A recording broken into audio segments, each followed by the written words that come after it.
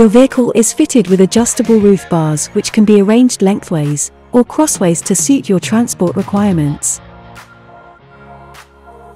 First, retrieve the provided spanner from the glove compartment. Unclip these tabs and put them in the vertical position. Use your spanner to undo the bolts. Then lift up the roof bars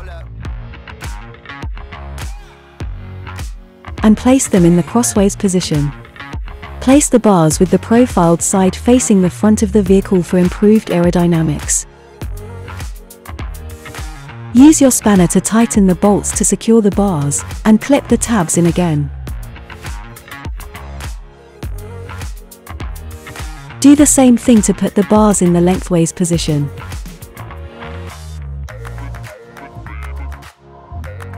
Remember that the roof bars are not interchangeable if they are in the lengthways position. When you are not using the bars, and they are mounted crossways, it is better to put them lengthways in order to improve your vehicle's aerodynamics, and thereby your fuel consumption. Lastly, remember never to enter a car wash with the roof bars in the crossways position.